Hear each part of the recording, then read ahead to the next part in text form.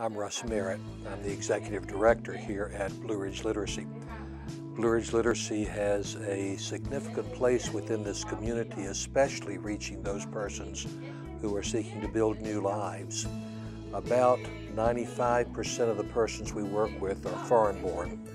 We're in our 32nd year and 32 years ago, most of the folks we worked with were American born native English speakers who had never had opportunity through school systems to learn to read and write English. Now that's a much smaller part of the group we work with since the demographics have changed.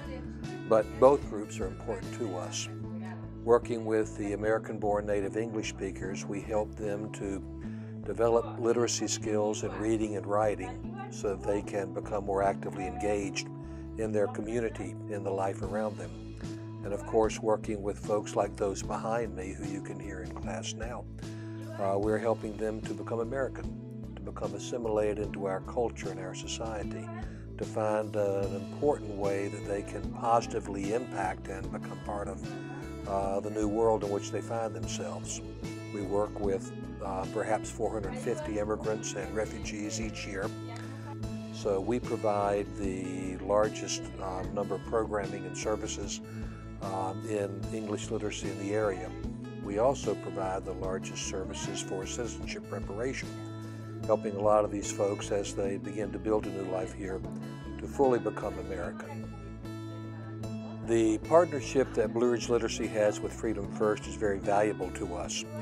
First of all, Freedom First provides Dave Prosser, who is one of the vice presidents at Freedom First, um, on, on, our board of directors. Dave helps to bring uh, wonderful business sense to the work that we do.